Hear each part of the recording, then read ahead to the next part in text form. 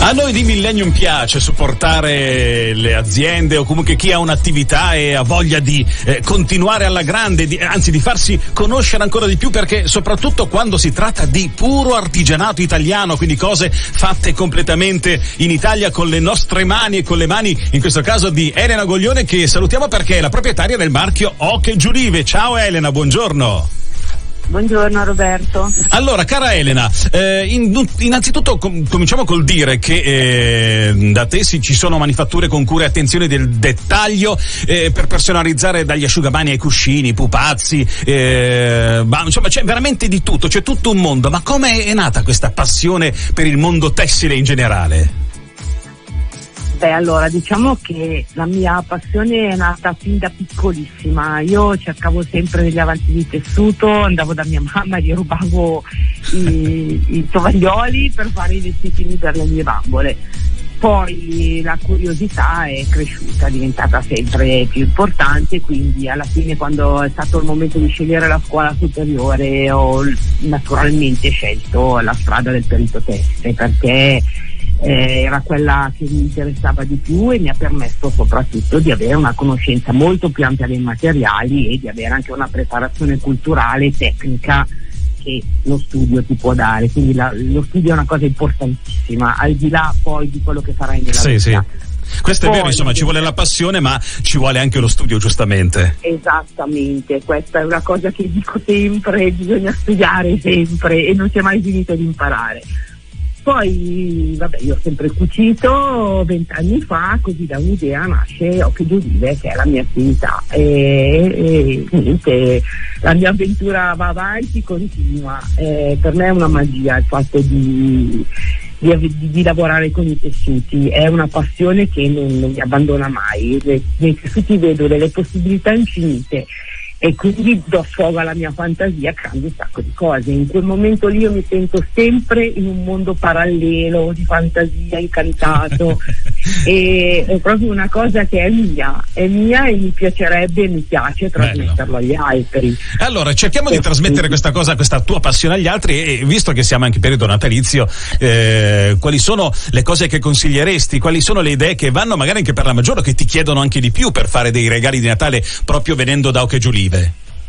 Beh, allora, prima di tutto penso che la cosa più importante sia cercare di capire che cosa vuole il cliente, quindi la prima cosa è dare la, la propria disponibilità sì. e mettere al servizio l'esperienza che, che si è acquisita negli anni.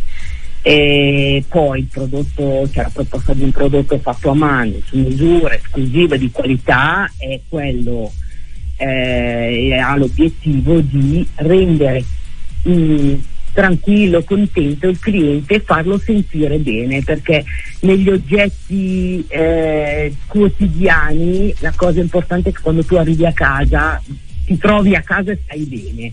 Per cui sì. anche nei piccoli oggetti, secondo me ci deve essere una cosa del genere. Poi se vogliamo aggiungere anche il ricamo, il ricamo dà quel pezzo eh in più, quella cosa che è diversa dagli altri. Invece volevo... vogliamo sì, pensare, dimmi, dimmi, No, dico, se vogliamo pensare a qualcosa per Natale, direi che il must è la coppia di asciugamani per il bagno, eh, okay ed è quello che è più, più richiesto, diciamo così, poi vabbè ci sono gli accessori per la cucina, oppure potrei proporre le sportine con i pensieri delle ocche, che sono una cosa un po' particolare.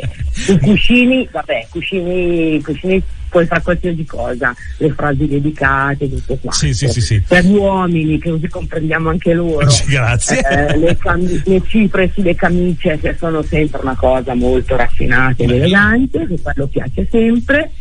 Per i bambini mi piaceva l'idea del libro cuscino, che è una cosa molto particolare. E poi, se proprio vogliamo arrivare al top, secondo me sempre, sì. e se vogliamo sognare, la mia oca giramondo che è il pupasso che faccio io che è il mio proprio della mia oca che si chiama Giulia e l'oca Giulia quindi queste sono le cose che io propongo però ce ne sono tantissime altre perché soprattutto se viene in mente un'idea un qualcosa tu la crei qualunque persona mi può chiamare e mi dice ho in mente questa cosa me la fai? e vediamo, cioè, io ci, ci, metto tutto l'impegno e la mia passione Perfetto. per fare le cose. Elena, senti, a parte il fatto sì. di andare a vedere il tuo sito che è occhiogiulive.it ed è bellissimo, ci sono tutte le cose che hai appena raccontato, ma soprattutto fisicamente, eh, con la giusta distanza, la mascherina e tutto quanto, certo. ma dove possono venirti a trovare? Allora, io ho il laboratorio a casa mia, che è in via del Gaggio numero 11 a Varese. Perfetto, io ringrazio tutte le altre cose le trovate sul sito, lo ripeto, ochegiulive.it. Carinissimo Elena, è stato un piacere averti con noi. Eh, ti ringrazio tantissimo per la tua passione, si sente che ne hai tanta di passione e ti auguro veramente un bel Natale, soprattutto come diciamo a tutti, ma ce lo diciamo anche noi stessi, un buon 2021. Grazie mille. Eh, speriamo, grazie e buon Natale a tutti. La mattina di mille